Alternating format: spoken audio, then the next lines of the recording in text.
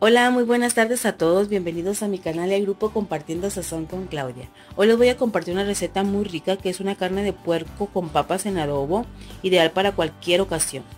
Para esta receta lo que vamos a necesitar es la carne de puerco. Yo estoy utilizando maciza, pero pueden utilizarla de su preferencia.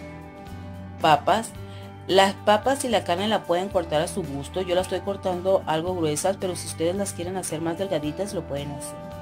También vamos a necesitar lo que es vinagre de manzana, puede ser también blanco, chile guajillo y chile pasilla y los condimentos que son cuatro dientes de ajo, los cuales vamos a utilizar dos para el adobo y dos para la carne, una pizca de pimienta, media cucharadita de comino y media cucharadita de orégano molido.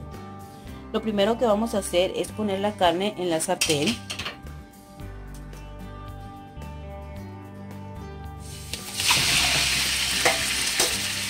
esta manera y vamos a dejar que dore un poco.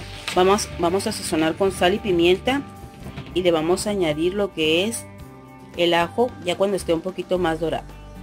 Continuamente vamos a poner la pimienta y la sal. Esta va a ser a su gusto. La vamos a dejar que se dore muy bien porque como no la vamos a poner a cocer es muy importante que quede bien bien cocinada antes de que se termine de cocinar la carne le vamos a añadir los dos dientes de ajo. Y vamos a mezclar muy bien para que se impregne bien la carne del ajo. Aquí incorporé ya nuestras papas al aceite, ya que las corté y las lavé. Y ahora lo único que vamos a hacer es dejarlas hasta que queden crocantes o que queden ya listas. Si ustedes no quisieran hacer este paso y quieren ponerlo directamente a lo que es nuestro guiso, lo pueden hacer, pero le da otro sabor al asado y aparte queda la papa más compacta, más enterita. A este punto ya quedaron nuestras papas, si se fijan ya quedaron bien doraditas. Ahora las vamos a retirar y reservar. Aquí ya están nuestras papas doradas. Yo lo que hice fue ponerlas sobre papel absorbente y las vamos a dejar aquí hasta incorporar a la Una vez que está hirviendo el agua vamos a hidratar nuestros chiles.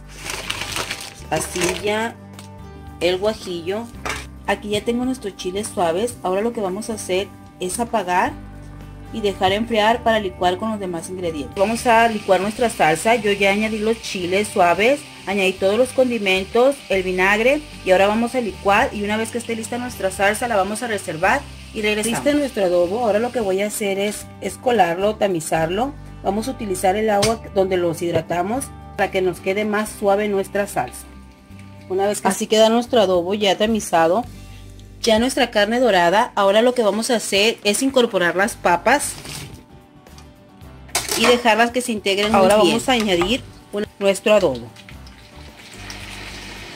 Si ustedes no quieren tamizarlo o colarlo, lo pueden dejar así, pero en esta ocasión a mí se me antojó hacerlo, ah, se me antojó colarlo para que quedara más tersa la salsa. Vamos a dejar aquí para que se integren los sabores por unos 5 minutos y vamos a rectificar sazón. Lista nuestra carne de puerco con papas en adobo. Lo vamos a servir. Yo aquí en esta ocasión lo puse con unas ramitas de cilantro. Pero ustedes pueden acompañarlo con la guarnición de su preferencia, ya sea arroz o alguna sopa fría. Esta receta o este platillo es ideal para alguna reunión o evento especial, ya que es muy rendidora. Se las recomiendo.